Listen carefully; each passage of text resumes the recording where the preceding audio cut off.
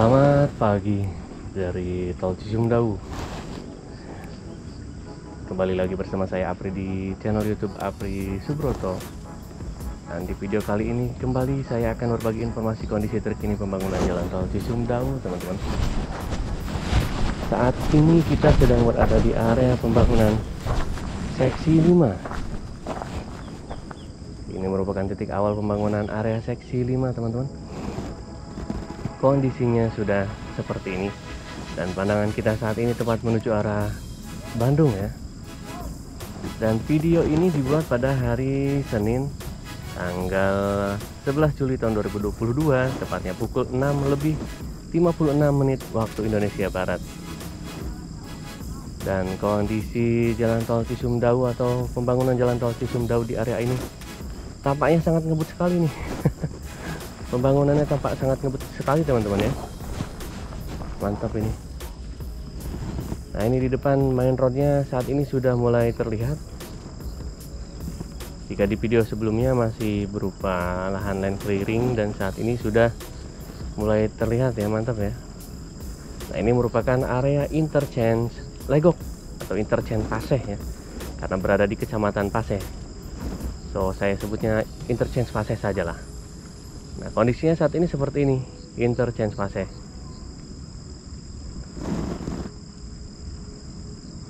Oke karena ini di area perbukitan teman-teman Jadi kontur tanahnya berundak-undak ya. Dan dari tempat saya take off itu berarti ini menanjak. Nah ini masih di arah Bandung Atau menuju arah Bandung Dan di depan sana itu terdapat underpass. Box underpass Jalan utama Paseh Conggeang teman-teman ya. Ini kondisi main roadnya sudah mantap sekali. Kita coba menuju underpass. Paseh Conggeang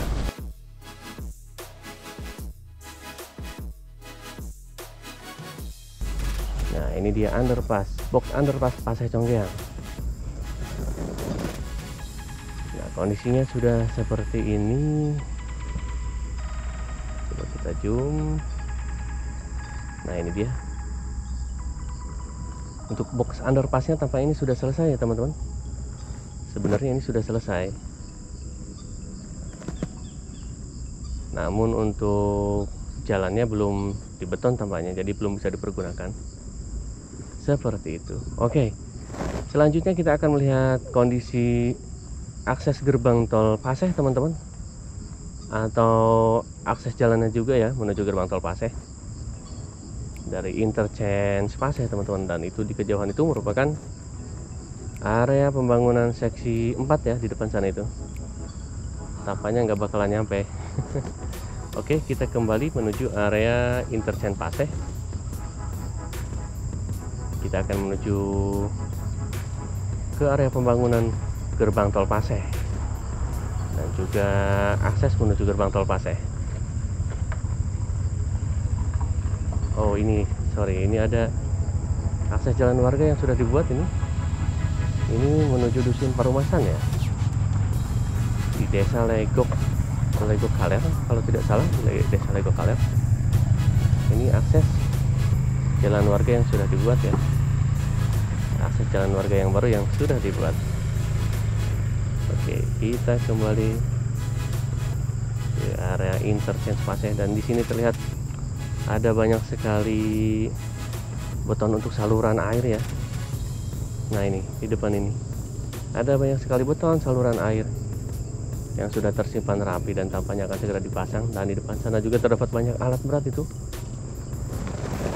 Ada tenda roll ada ekskavator juga. Seperti itu teman-teman. Oke kita berputar terlebih dahulu sedikit berputar. Untuk melihat interchange pasnya dan ini ada mesin borpil di sini. Nah itu ada sebuah abutmen ya. Ada sebuah abutmen di depan sana. Nah ini kalau menuju gerbang tol Pase kondisinya itu menanjak teman-teman ya. Nanti saya juga akan coba untuk menaikkan drone karena ini ada sebuah tiang sutet juga. Oke kalau penasaran kita zoom dulu ya teman-teman. Nah ini kondisinya seperti ini. Sedang dicoba untuk diratakan atau disesuaikan ketinggiannya dengan jalannya. Oke kita coba maju ke depan. Nah itu terdengar sudah mulai ada pergerakan dari alat-alat berat. Padahal ini masih jam 7 ya kalau nggak salah ya. 656 tadi saya take off sudah lebih dari 6 menit. Ini mungkin sudah jam 7 nah ini teman-teman. Ini merupakan jalur atau saya kurang kurang tahu ya belum belum belum terlihat lah. Belum terlihat eh, di sebelah mana nanti posisi gerbang tol Pasehnya. Ini hanya jalurnya saja. Akses menuju interchange Paseh atau menuju jalan tol Cisumdawu dari daerah Paseh teman-teman. Dan di depan sana itu oke ini ada di bawah ini. Merupakan jalan akses warga desa Bongkok ya. Nah ini dia. Oh sedang dibuatkan lubang saya kurang paham ini lubang apa nih. Coba kita lihat. Nggak tahu nih nanti ini apakah akan berupa overpass atau berupa box underpass tapi jika dilihat dari galiannya kemungkinan ini akan ada sebuah overpass ya di area ini. Dan jalur akses menuju gerbang tolnya atau menuju interchange pasehnya itu tampaknya akan di bawah jadi kita ikuti saja lah perkembangannya. Tidak bisa menebak-nebak ya. Belum belum kelihatan soalnya. Oke kita coba terus maju ke depan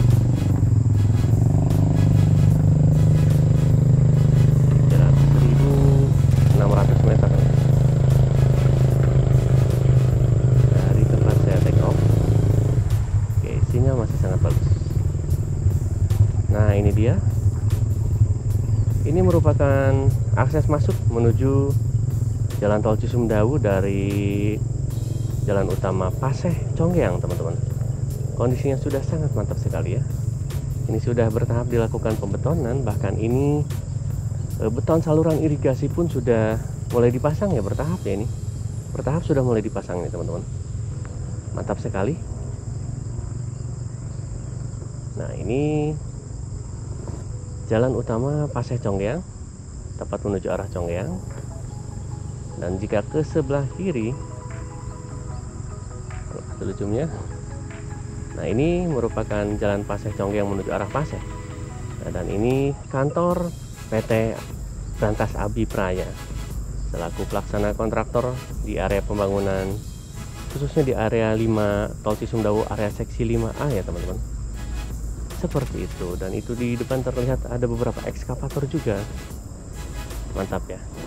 Oke kita coba menyusuri main road jalan tol Cisumdawu menuju arah Cipamekar atau menuju arah Conggyang jika baterainya cukup teman-teman ya. Saya tidak memaksakan. Pengalaman kemarin itu sempat mau habis baterai itu. Pas di tangan nyampe di tangan itu 10% teman-teman. Ngeri ya. Nah ini dia. Bisa kelihatan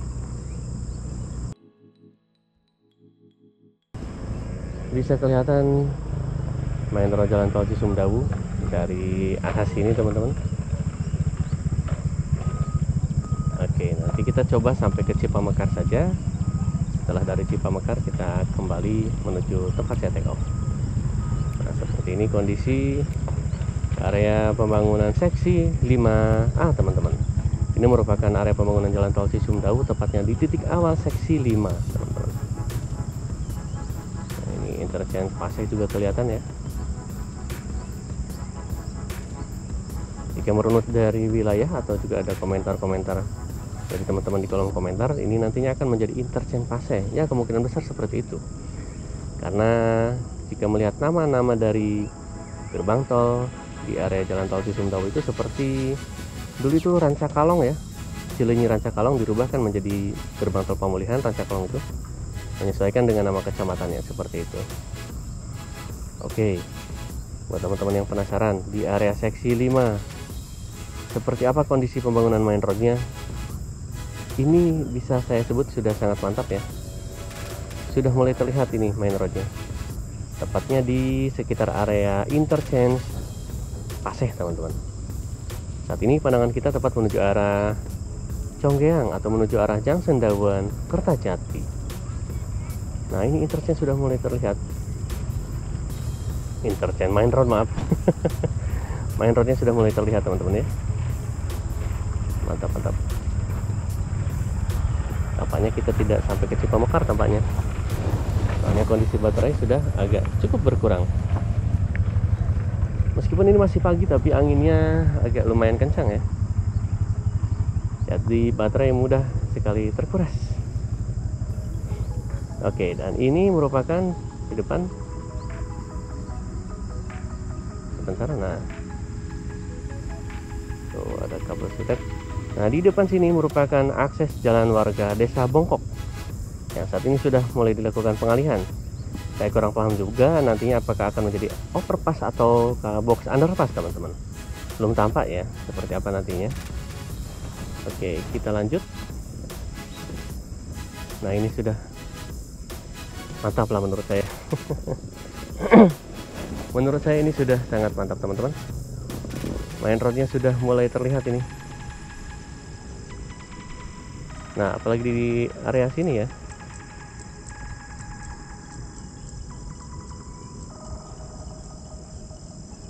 mantap sekali nih sudah mulai di apa namanya di sender ya atau istilahnya itu apa saya lupa Oke, kita terus menyusuri main road Jalan Tol Cisumdawu menuju arah Conggiang atau menuju arah Jangsen Dawan Kertajati.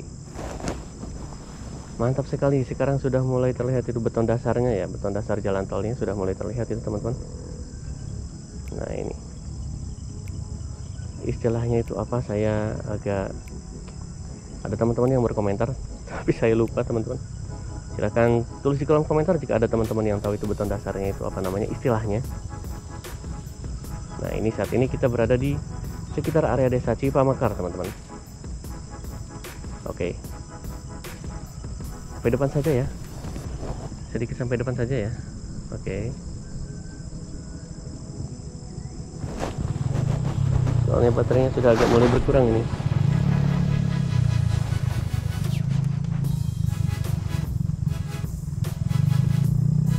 Nah ini kita berada di area desa Cipamakar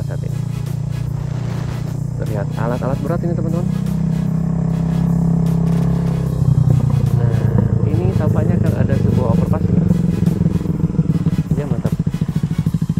Ada sebuah overpass nantinya. Yang saat ini sudah mulai dibeton nih bahkan tampaknya sudah selesai itu pembetonannya ya. Dan di depan sana itu Conggiang teman-teman. Nanti kita akan update juga di area sana itu overpass Cipamekar terlihat dari sini juga dan juga overpass Ciberja oke okay. So hanya itu informasi yang bisa saya berikan terkait kondisi terkini pembangunan jalan tol Cisumdawu khususnya di area pembangunan seksi 5 teman-teman. Tepatnya di seksi 5A ya teman-teman. Di titik awal pembangunan jalan tol Cisumdawu di seksi 5A tepatnya.